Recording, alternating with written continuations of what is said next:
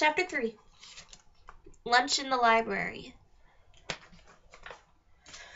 The next day at school, Alex was still having a hard time digesting the conversation and the pizza from the night before. The news of her mother's new relationship was a heavy thing to process, and did nothing to help the gloomy state she was already in. She felt like she was slowly losing control over everything in her life, and she hated it. Alex desperately needed someone to talk to, someone who wasn't her mom or her brother, but an outside source who could hug her and tell her everything was going to be all right. She needed her grandmother. She would have given anything just to see her face again. However, since that was impossible at the moment, Alex settled on seeing a form of her grandmother instead. At lunch, at lunch, she went to one of her favorite places in her world, the school library. Hi, Alex, the librarian said as Alex passed her desk. You'll be happy to know I just ordered a new set of encyclopedias. Really, Alex said. That's wonderful. She smiled for the first time all day. It faded a second later after she realized new encyclopedias was the most exciting news she had in weeks. Thank you for your enthusiasm, the librarian said. Earlier today, I told another student I was getting new encyclopedias. He asked me how long I'd been in the hospital. Can you believe that? Times are definitely changing. They are, they sure are, Alex said under her breath. Alex went to the very last aisle of the books, where the children's literature was kept. Students weren't allowed to check out these books, as they were mostly used as references for the English class. From the top shelf, Alex pulled out an old book that was several hundred pages thick. It was exactly where she had left it on her last visit to the library. A treasury of classic fairy tales was written across its brown cover. It wasn't much to look at, and it didn't have nearly as much majestic charm as her grandmother's Land of Stories book, but it had become Alex's favorite book to visit in the library. She looked around to make sure no one was watching her. Besides the librarian, who was busy at her computer, she had the library to herself. She opened the book and flipped through the pages. She skimmed through the illustrations of Sleeping Beauty and Snow White, of Rapunzel and Red Riding Hood, and of Goldilocks and Jack and the Beanstalk. Surprisingly, they were accurate descriptions of the people she had met a year ago in the fairy tale world.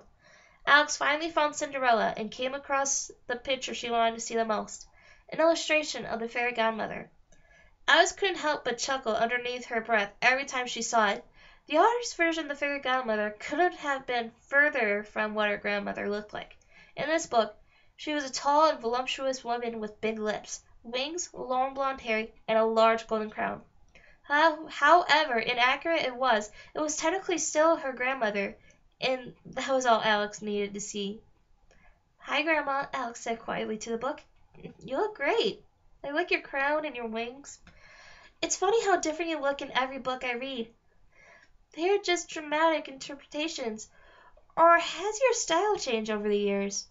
The fairy godmother was just a young fairy living in the fairy tale world when she, when she discovered there was another world. She was the first and only person in history of both worlds capable of traveling between the two at will. She never understood why she was given such a gift. Magic had always been a mind of its own. The world was in a very dark place during her first visits. It was the beginning of the Middle Ages, and war and plague were everywhere she looked.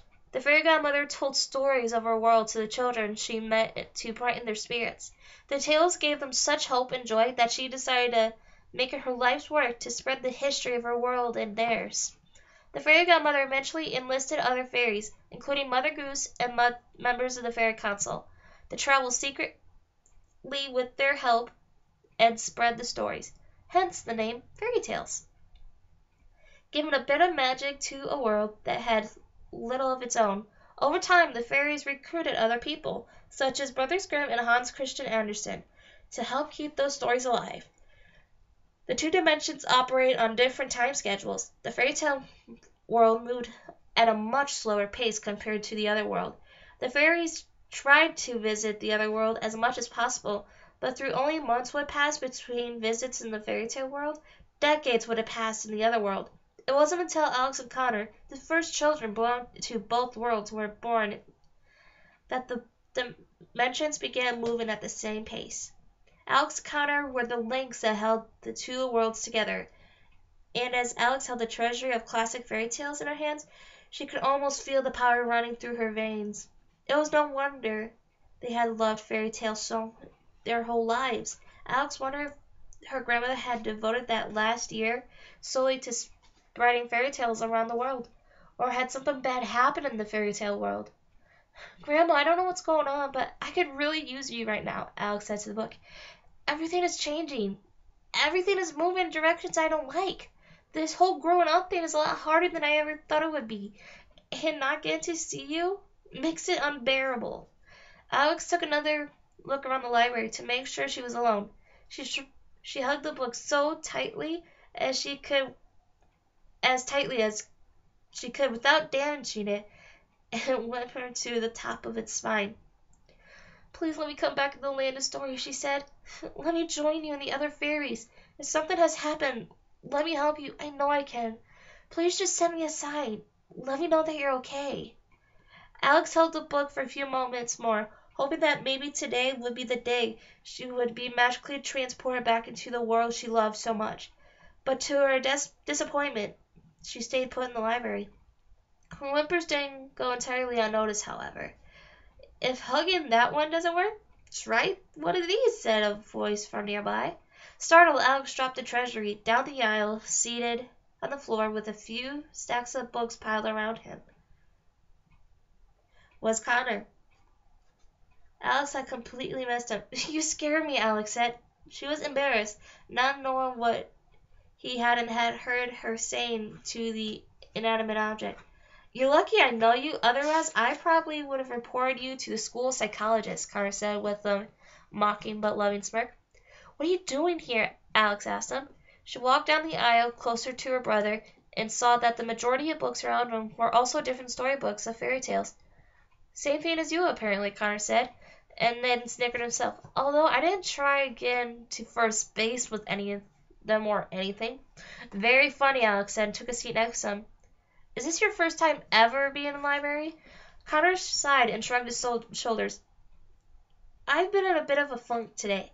I thought if I came here and flipped through a couple of these, I would feel better, he explained. Did it work, Alex said. For the most part, I'd say, Connor said. Why do you think that is?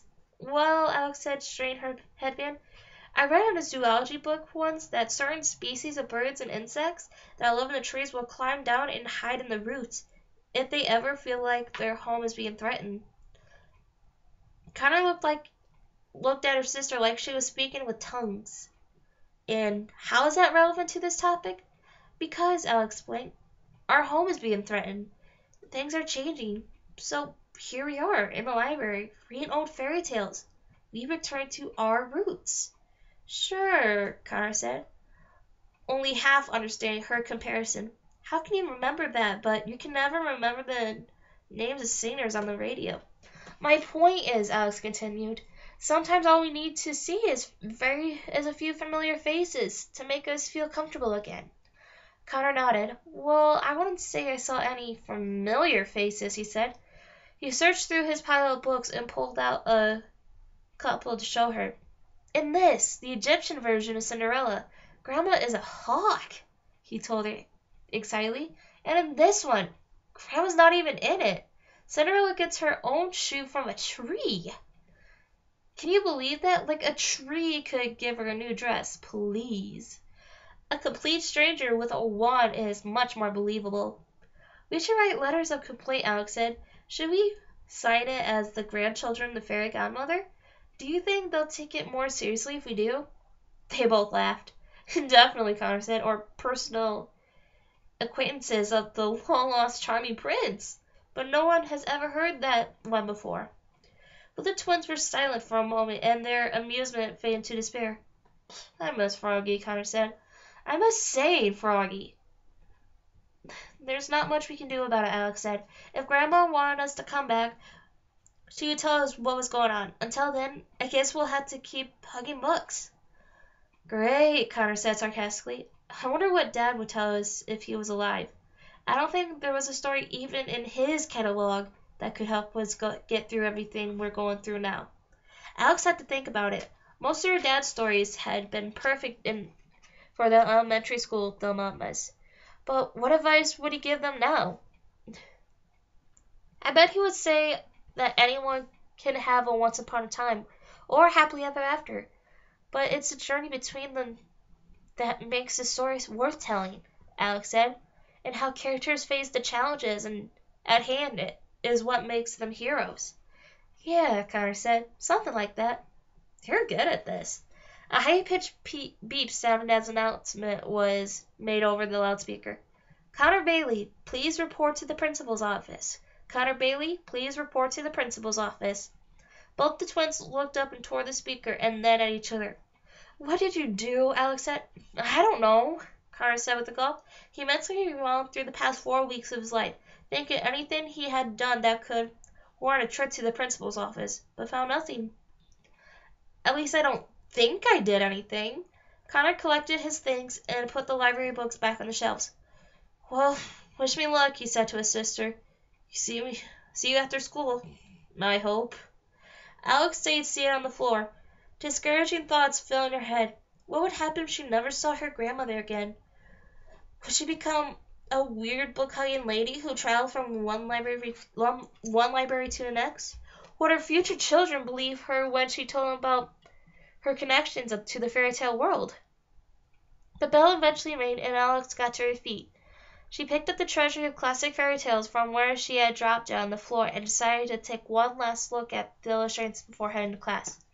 Alex turned to the same page she had been talking to before and to her amazement the illustration was completely different. Instead of the voluptuous woman with the wings and crown, it showed a petite woman with a kind smile and sky blue sparkly robe. It was her grandmother. Alex looked around the library in a shock as a smile grew on her face. Her grandmother had just sent her a postcard. Alright, that is the end of chapter 3. I hope you enjoy the read of it. Don't forget to subscribe if you want to hear more of the Land of Stories, The Enchantress Returns, or if you want to hear more books later on in the future. Also, if you want to send me any recommendations of any books you want me to read, just post any comments on any video that I have posted. And I hope you enjoyed the reading. Bye!